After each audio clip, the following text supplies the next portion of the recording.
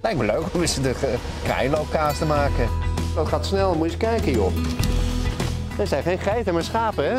Wat een kaasje. Dutch van die uh, krijloop hè.